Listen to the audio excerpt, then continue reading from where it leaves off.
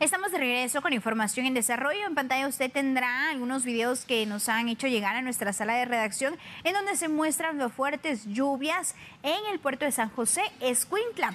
Ya observa cómo está el panorama en ese sector. Hemos dado un seguimiento a lo que está ocurriendo en Honduras con la tormenta tropical Sara. Recordemos que tanto las autoridades de Conred como de Insibum están monitoreando también esta situación.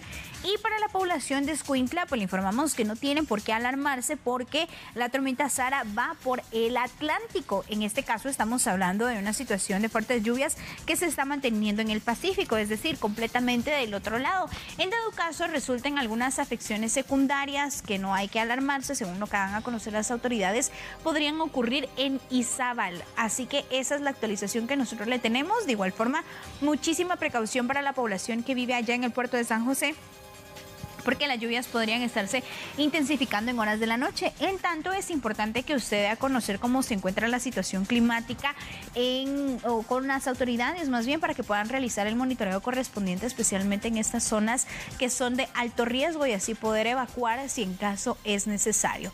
Pero de momento, pues le rogamos a la población allá en el Pacífico, en el puerto de San José de Escuintla, que se mantengan con calma porque la tormenta tropical Sara está avanzando, pero del lado del Atlántico, es decir, completamente del otro lado y por supuesto nosotros a través de TN23 le vamos a estar actualizando la información.